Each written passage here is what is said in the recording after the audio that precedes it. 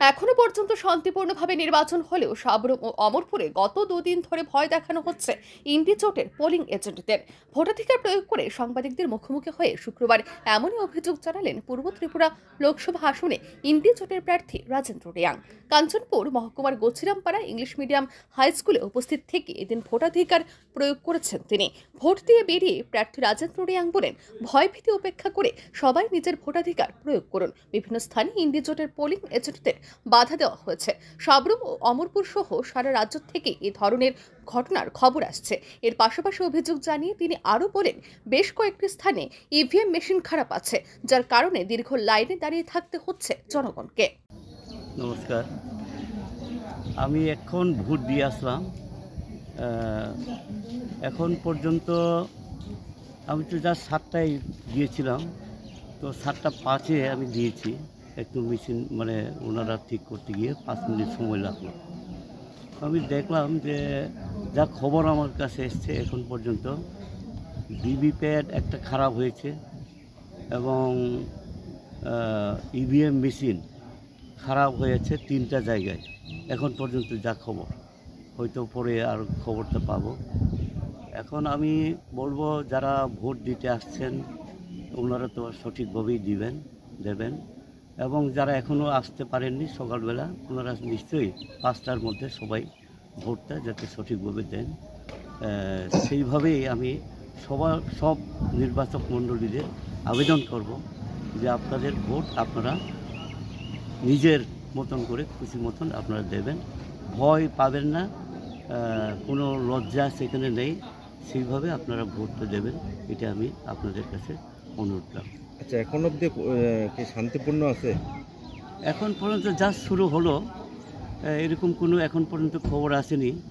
কিন্তু দুই দিন আগে খবর যা পেয়েছি, কোথাও কোথাও একটু ভয় হুমকি দেওয়া হচ্ছে বলে খবর, বিশেষ করে কমলপুর সাব ডিভিশনে একটু ভয় হুমকি দেওয়া হয়েছে বাড়ি বাড়ি গিয়ে। এরকম আমাদের আমার কাছে খবর আসছে।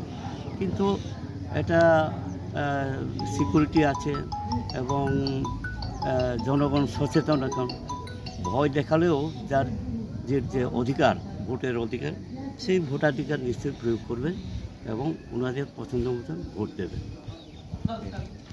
ত্রিপুরা রাজ্যে জনগণের থেকে বিচ্ছিন্ন হয়ে পড়েছেন শাসক দল ভারতীয় জনতা পার্টি।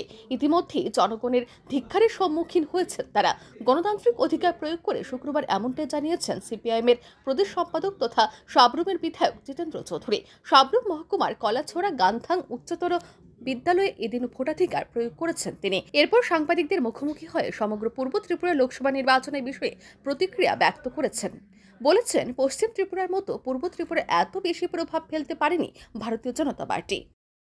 আমাদের দেশের একশো চল্লিশ কোটি মানুষের জন্য এটা শুধু ভোট না, এটা গণতন্ত্র রক্ষার, সংবিধান রক্ষার লড়াই। তো আমাদের রাজ্যে আজকে দ্বিতীয় পর্বের তথা আমাদের যে পূর্ব ত্রিপুরা আসনের ভোট শুরু হয়েছে এখন অবধি আমার কাছে যা খবর যে বিশাল সংখ্যক ভোটার খুব সকাল সকাল থেকেই তারা ঘর থেকে নেমেছেন ভোট দেওয়ার জন্য। শাসক দল ভারতীয় জনতা পার্টি যারা ত্রিপুরাজ্যের মধ্যে ইতিমধ্যেই জনধিকৃত জনগণ থেকে বিচ্ছিন্ন এই সরব প্রচার শেষ হওয়ার পর থেকে বিভিন্ন জায়গা থেকে পশ্চিম ত্রিপুরা যা করেছে এখানে করার চেষ্টা করেছে আমাদের এই সাবরুম বিভাগেও। কিন্তু এখন অবধি জনগণের যে উচ্ছ্বাস, জনগণের যে মেজাজ, এটাতে তারা খুব বেশি সেরকমভাবে পশ্চিম ত্রিপুরা যেরকম করেছে, এরকম করতে পারেনি বলে আমার কাছে খবর। তারপরও কিছু জায়গাতে আমাদের পোলিং এজেন্টদেরকে এই বুথে ঢোকার থেকে তারা এদেরকে বিরত করেছে। কোনো কোনো জায়গাতে প্রশাসনের তরফ থেকে কমিশনে জানানোর পর দ্রুত অ্যাকশন নিয়েছে। এবং এও খবর যে শাসক দলের কিছু মন্ত্রী, নেতা, তারা বিভিন্নভাবে ঘুরছেন। আমাদের কাছে খবর আসা মাত্রই আমরা প্রশাসনের নজরে আমরা আনছি কোন কোন জায়গাতে ব্যবস্থা গ্রহণ করা হয়েছে। যাই হোক, দেখা যাচ্ছে যে লাইনে যেরকমভাবে ভিড়, এটা গণতন্ত্রের প্রতি যে মানুষের আস্থা, শাসক দল চায় যে মানুষ ভোট তাদের না দিক তাদের হয়ে ছাপ্পা ভোট দিয়ে তারা সেরকমভাবে প্রতিনিধি নির্বাচিত করবে। হয়তোবা পূর্ব ত্রিপুরা আসনে এটা সম্ভব হবে না। আমি এখন অবধি যে খবর পাচ্ছি বা আজকে আমি যে বুথে এখন ভোট দিলাম গার্জাং হায়ার সেকেন্ডারি স্কুলের আট নম্বর বুথে, তারই প্রতিফলন এখানে দেখছি। সেদিক থেকে আমি ত্রিপুরা রাজ্যের ভোটারদেরকে, জনগণদেরকে রাজনীতি সচেতন মানুষকে আমি কুর্নিশ জানাব। শেষ পর্যন্ত এটা রক্ষা করতে হবে। এখনও শেষ হয়নি যুদ্ধ মাত্র শুরু হয়েছে চলছে। সাধারণ মানুষের সাথে লাইনে দাঁড়িয়ে বিদ্যানগর হায়ার সেকেন্ডারি স্কুলে শুক্রবার সস্ত্রিক ভোটাধিকার প্রয়োগ করেছেন প্রদেশ কংগ্রেসের প্রাক্তন সভাপতি তথা কৈলা শহরের বিধায়ক বীরজিৎ সিনহাও। এখানকার নাগরিকেরা রাজনৈতিকভাবে সচেতন তাই পূর্ব ত্রিপুরা লোকসভা নির্বাচনে ইন্ডি জোটের প্রার্থী রাজেন্দ্র রিয়াং জয়লাভ করবেন বলে আশাবাদী তিনি। ইন্ডিয়া জোটের প্রার্থীর পক্ষে আমরা প্রচারও করেছি এবং এখন আমরা ভোট প্রয়োগ করলাম।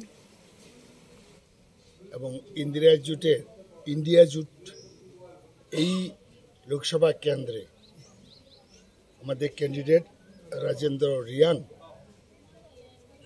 ভালো ভোটে জিতবে। সর্বস্তরে মানুষ সাপোর্ট করছে, দলমত নির্বিশেষে। এটাই ওনার প্লাস পয়েন্ট এটা সাংঘাতিক ব্যাপার। কারণ সিম্বল আরেক পার্টি ক্যান্ডিডেট আরেক পার্টি এইসব ব্যাপার নিয়ে ট্রাইবেলের মধ্যে নন ট্রাইবেলের মধ্যে ক্রিয়া করছে। দুই নম্বর হলো, এনআরসি নিয়েও একটা প্রশ্ন আছে। সুপ্রিম কোর্টে মামলা হয়েছিল। নানা ব্যাপারে এখন আমাদের ক্যান্ডিডেট দৌড়ে নাম্বার ওয়ানে আছে। পাঁচটা পর্যন্ত দেখি কি হয়। আমাদের এই অঞ্চলে মানুষ রাজনৈতিক সচেতন, এখানে মানুষ বিপুল ভোটে ওনাকে এগিয়ে নিয়ে যাবে। সারাদিনের ভোট পরিস্থিতি খতিয়ে দেখে পূর্ব ত্রিপুরা সংরক্ষিত লোকসভা আসনে ইন্ডি জোটের প্রার্থী জিতবেন বলে আশাবাদী রাজ্যের বিরোধী নেতারা। ব্যুরো রিপোর্ট, আর ই নিউজ।